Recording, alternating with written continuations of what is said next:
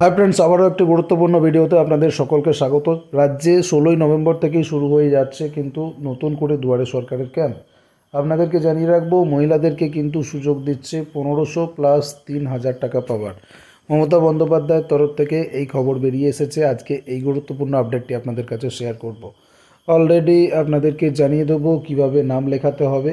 তার সঙ্গে সঙ্গে আপনাদেরকে জানিয়ে দেবো কোন কোন জেলায় সব থেকে আগে শুরু হচ্ছে, মহিলারা কীভাবে পনেরোশো প্লাস তিন হাজার টাকা নিতে পারবেন, সেই সমস্ত সরকারি ঘোষণাপত্র মমতা দিয়ে দিয়েছেন। কোন কোন প্রকল্পে এই সুবিধা থাকছে সেটার বিস্তারিত আলোচনা এই ভিডিওতে থাকছে। আপনি যদি স্মার্ট দুনিয়া ইউটিউব চ্যানেলে নতুন হয়ে থাকেন, রীতিমতো ডেইলি গুরুত্বপূর্ণ আপডেট পেতে চ্যানেলটিকে সাবস্ক্রাইব করে রাখতে পারেন, যেটা সম্পূর্ণ ফ্রি তো চলুন গুরুত্বপূর্ণ আপডেটটি সবার আগে আপনাদেরকে দিয়ে দিই। দেখুন, বলা হচ্ছে রাজ্যে ফের চালু হচ্ছে দুয়ারে সরকারের ক্যাম্প এবং সেটা ষোলোই নভেম্বর। গতকালের ভিডিওতে আপনাদেরকে আমি জানিয়েছি। এখানে যে আপডেটটি বেরিয়ে এসেছে, আপনাদেরকে জানিয়ে দিতে চাইব, রাজ্যে ফের চালু হচ্ছে দুয়ারে সরকারের ক্যাম্প বা কর্মসূচি ঘোষণা করে দিয়েছেন মুখ্যমন্ত্রী মমতা বন্দ্যোপাধ্যায়। পুজোর আগে ষোলোই আগস্ট থেকে পনেরোই সেপ্টেম্বর পর্যন্ত রাজ্যে দুয়ারে সরকারের শিবিরও করা হয়েছিল। পুজোর আগে বন্ধ হয়ে যায় প্রকল্পটি। যদিও এবার ফের রাজ্যে এই দুয়ারে সরকার চালু হতে চলেছে এদিনেই ঘোষণা করে দিয়েছেন মমতা বন্দ্যোপাধ্যায়। মুখ্যমন্ত্রী হিসেবে। সাংবাদিকদের তিনি বলেছেন, ষোলোই নভেম্বর থেকে আবারও শুরু হবে দুয়ারে সরকারের ক্যাম্প। এর আগে পঁচিশ অক্টোবর মুখ্যমন্ত্রীকে প্রশাসনিক বৈঠকে বলতে শোনা যায় যে, উপনির্বাচনের জেরে দুটি এলাকায় দুয়ারে সরকার পুরো করতে পারেননি। কালী পুজোর পর ফের শুরু হবে।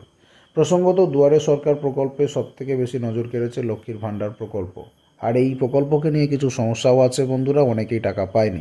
সেই সমস্যার সমাধানও কিন্তু মুখ্যমন্ত্রী রাস্তা দেখিয়ে দিয়েছেন। এই প্রকল্পে ফার্স্ট সেপ্টেম্বর থেকে লক্ষ্মীর ভাণ্ডার প্রকল্পের সুবিধা পেতে শুরু করেছেন মহিলারা।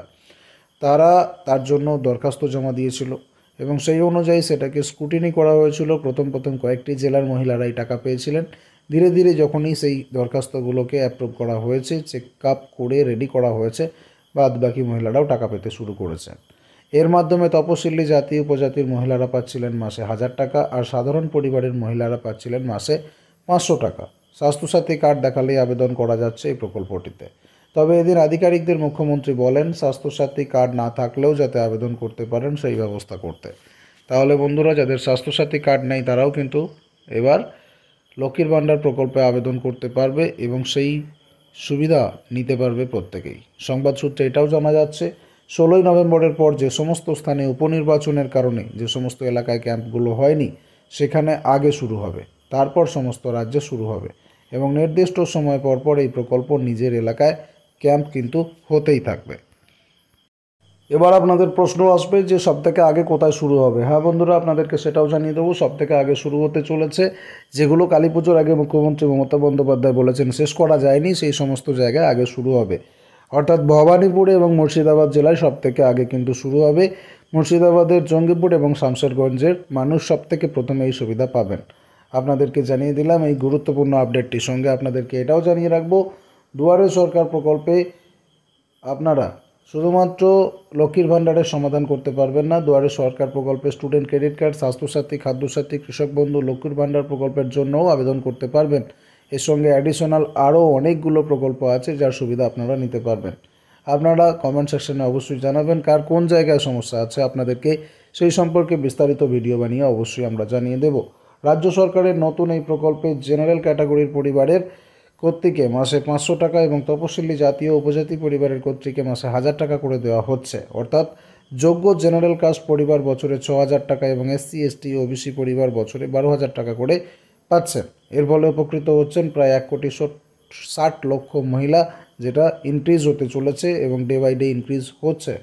আর দুয়ারে সরকারের পরবর্তী ক্যাম্পে ষোলোই নভেম্বর থেকে যেটা স্টার্ট হচ্ছে, সেখানে আরও অনেক মহিলা আবেদন করবেন এবং তারা স্বাস্থ্যসাথী কার্ড ছাড়াও আবেদন করতে পারবেন, এরকম ঘোষণা মুখ্যমন্ত্রী দিয়েছেন।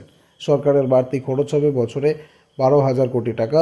এটা আপাতত ধরে নেওয়া হচ্ছে, পরে কিন্তু এটা বাড়লেও বাড়তে পারে। আপনাদেরকে এই গুরুত্বপূর্ণ আপডেটটি জানিয়ে দিলাম, যেখানে আপনি জানতে পারলেন সম্ভাব্য তারিখ, তার সঙ্গে সঙ্গে কোন কোন জেলায় সর্বপ্রথম স্টার্ট হচ্ছে, তবে চিন্তা করবেন না, সমস্ত জেলাতেই কিন্তু শুরু হবে এবং আবেদন সম্পর্কে আপনাদেরকে জানিয়ে দেওয়া হলো, ষোলোই নভেম্বর থেকে আপনারা দুয়ারে সরকারের ক্যাম্পে সেখান থেকেই ফর্ম তুলে আবেদন করতে পারবেন, কোনো সমস্যা হবে না। আর যদি আবেদন প্রক্রিয়া সম্পর্কে জানতে চান, অবশ্যই কমেন্ট সেকশানে জিজ্ঞাসা করবেন, পরবর্তী ভিডিওতে আমরা স্টেপ বাই স্টেপ আবেদন করে আপনাদেরকে দেখিয়ে দেবো।